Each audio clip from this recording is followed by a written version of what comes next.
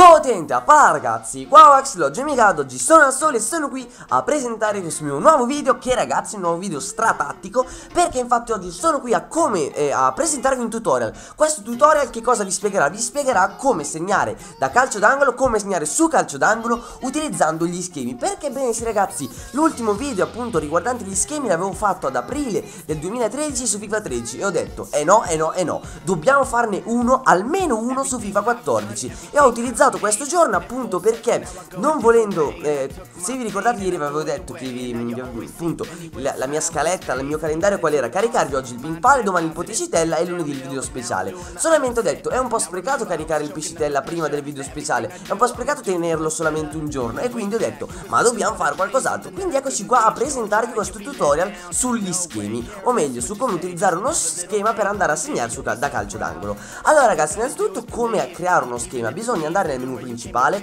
andare su gioca, poi probabilità, dove c'è probabilità dovrete muovere l'analogico destro verso destra, in questo modo accederete, se possiamo così definirla, all'arena allenamento, una volta essere andati sull'arena allenamento schiaccerete start, crea schema e selezionerete la regione interessata, che in questo caso è quella relativa al calcio d'angolo. Una volta fatto ciò ragazzi è semplicissimo, dovete solamente copiare ciò che io sto facendo, gli stessi movimenti che appunto io vi sto proponendo, voi dovete, li dovete copiare fare e farli fare diciamo sulla vostra squadra pre predefinita dell'arena. In questo caso io stavo utilizzando il Real Madrid, ma in che cosa consiste questo schema? Praticamente ragazzi noi libereremo un giocatore che andrà tranquillamente a segnare, a tirare dopo aver ricevuto un passaggio da un uomo vicino al calcio d'angolo. Quindi come facciamo a liberarlo? Come facciamo a farlo smarcare da Dio? Bisogna ovviamente togliergli, togliergli dalle palle eh, i difensori avversari e come faremo a toglierli? Li faremo eh, marcare altri nostri giocatori che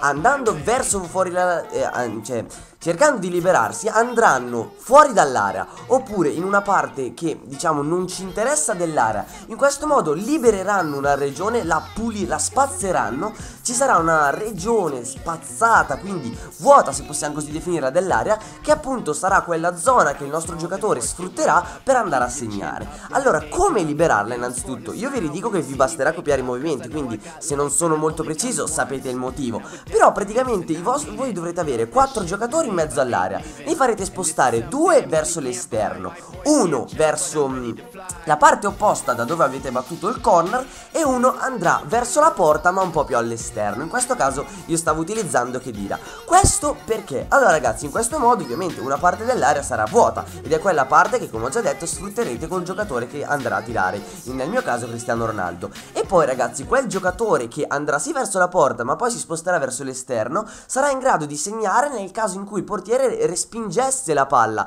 Quindi c'è un, un, ambiguo ragionamento dietro. E poi ragazzi innanzitutto che giocatore consiglio di far tirare? Innanzitutto io utilizzo questi schemi per l'Ultimate Team. Quindi il giocatore che andrà a tirare sarà il giocatore corrispondente a, al vostro giocatore della squadra dell'Ultimate Team. In che senso? So che non si è capito niente però vi faccio un esempio. Io in questo caso utilizzavo Cristiano Ronaldo. Cristiano Ronaldo fa la fascia. Quindi se io utilizzassi questo schema nel, nell'Ultimate Team andrebbe a tirare la mia fascia. Quindi se volete far battere un ovviamente dovrete mandare a tirare questo, mio, l'attaccante della vostra squadra predefinita. Quindi nel mio caso Benzema. Poi ragazzi io vi consiglio soprattutto di utilizzare un giocatore con 5 stelle di abilità anche nell'Ultimate Team come magari Ronaldo ma anche Tarapt e poi ragazzi potete far tirare anche un mancino. Allora eh, come mai vi dico far tirare anche un mancino? Perché se voi dopo aver passato la palla al giocatore vicino al calcio d'angolo che a sua volta con un filtrante la passerà al giocatore che andrà a tirare se voi tirerete di prima questo giocatore la tirerà di sinistro.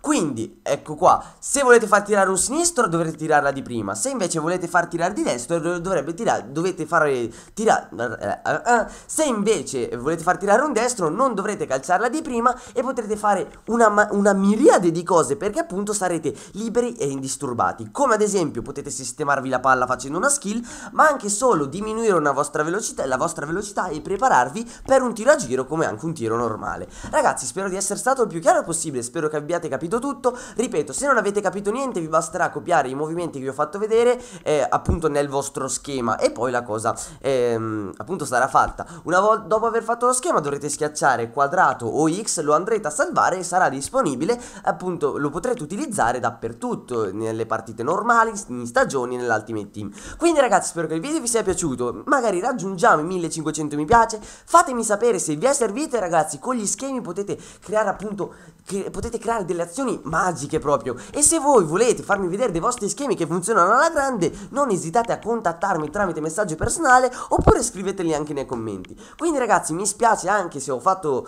um, questo cambiamento non vi ho proposto il pink pale ma dato che eh, mi hanno spostato la partita oggi pomeriggio non avevo ancora il tempo di farlo però lo farò domani. Quindi ragazzi detto questo io vi saluto e vi dico potente a pala ci si sente al prossimo video. Bolla